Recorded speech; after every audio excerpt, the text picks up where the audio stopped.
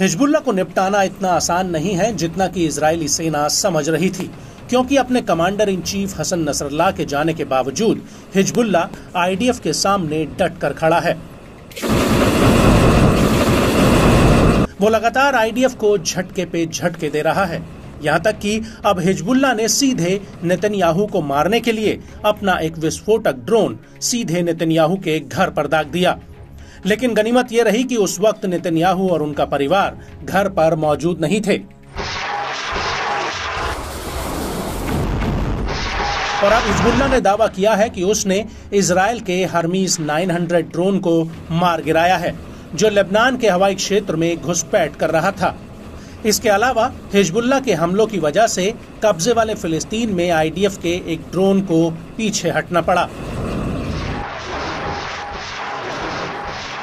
Hezbollah के मुताबिक 20 अक्टूबर 2024 को शाम करीब चार बजकर तीस मिनट पर हिजबुल्ला की एयर डिफेंस यूनिट की आईडीएफ के हरमीज 900 ड्रोन से भिड़ंत हुई और उसे लेबनानी एयर स्पेस से पीछे हटने के लिए मजबूर किया।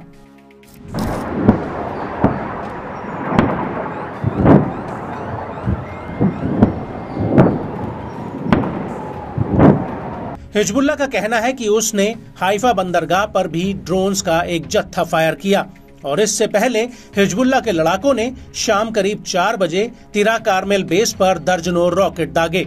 हिजबुल्ला का यह भी दावा है कि उसने आईडीएफ के सप्लाई केंद्र, सैमसन मिलिट्री बेस के साथ साथ तिरत कारमेल मिलिट्री बेस पर जमकर बमबारी की।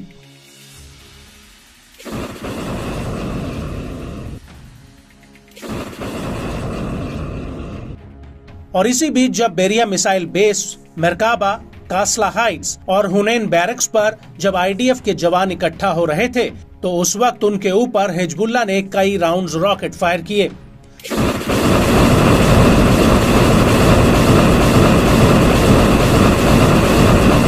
वहीं दूसरी तरफ़ हिजबुल्ला के हमलों के जवाब में आईडीएफ ने भी लेबनान की पूर्वी बैका वैली पर भीषण बमबारी की है।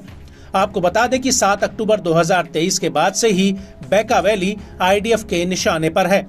आईडीएफ के मुताबिक यह इलाका हिजबुल्ला के गढ़ के रूप में माना जाता है।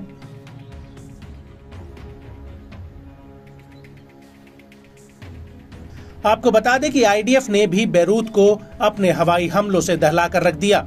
आईडीएफ का कहना है कि उसने बेरूत में हिजबुल्ला को फंडिंग करने वाले समूहों पर हमले किए हैं।